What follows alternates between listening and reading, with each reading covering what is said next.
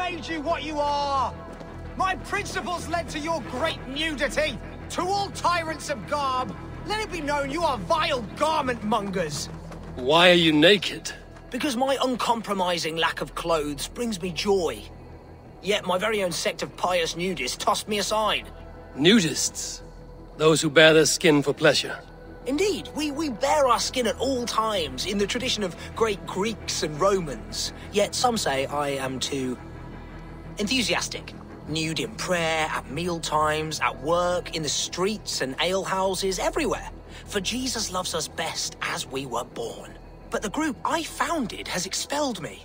Oh, if I could exact revenge, steal their clothes and render them nude forever, I would.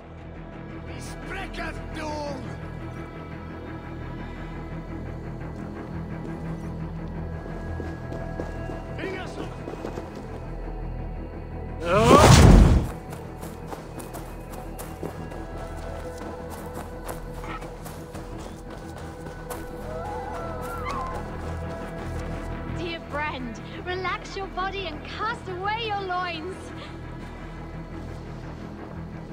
Greetings, Dane. This is our private celebration of skin.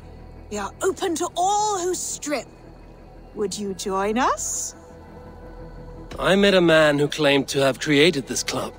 What happened to him? Oh, Winchell. Yes. He was a bit too, um, assertive for us. He was overly tempted by bare flesh, so we had to send him away. I would be honored to join your group. Where do I place my clothes so I can start dancing? Wonderful! A new member. Simply place your clothes in that crate hidden by the tent and partake in the liberation. There's a fresh, gorgeous beast of a soul joining us. Dear friend, relax. Oh, that's the crate where we put our clothes. Feel free to store yours in there too. Just put your... Hey! Stop that! Put it down! Our clothes!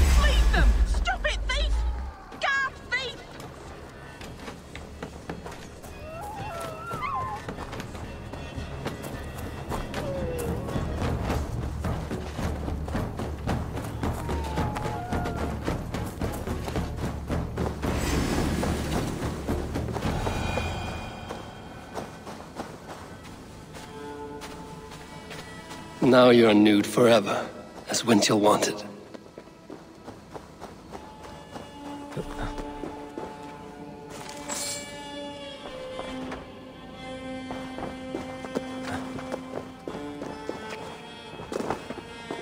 Now they will adhere to your principles.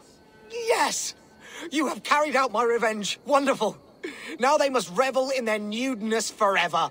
If you like, I have a luminous text with my teachings, a breviary of why one must trust their body's exposed sinew. Enjoy. Be well, when Winchell the chest free.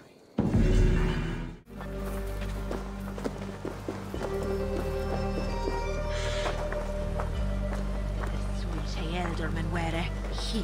Stuntoristen en dolknava en one-eyes keenelichnes. Tas